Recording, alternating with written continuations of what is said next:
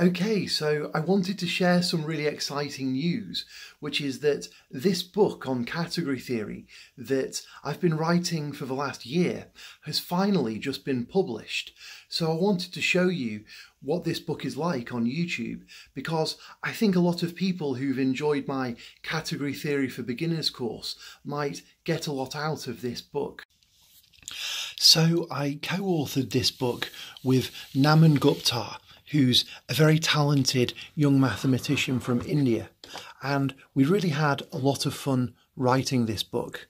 Now, one of the main things we've really put a lot of focus into is making lots and lots of full colour diagrams of all sorts of ideas from category theory because we both feel that the visual aspect of category theory is really important and it's really important to see pictures of all of these kind of mathematical concepts. So this book actually has over 250 different color images in it. And the idea of the book, the structure of it, is that within the first four chapters, we try to explain the sort of really intuitive sides of category theory. So the idea is that this is a book that doesn't have any prerequisites. And over the first four chapters, you can really gain a lot of intuition for general category theory, even if you don't know anything about it to start with. But then after those four chapters, the rest of the book is more focused on providing rigorous results, proper definitions and theorems and proofs and so on.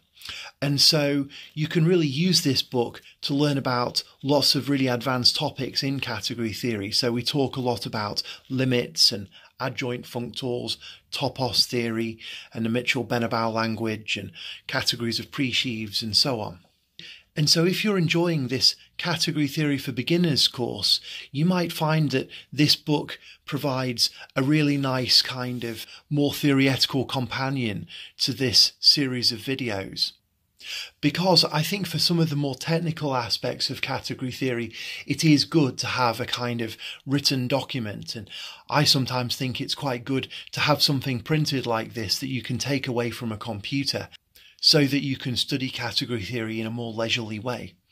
So you can buy a copy of this book for yourself by following the links to the Amazon store within the description of this video.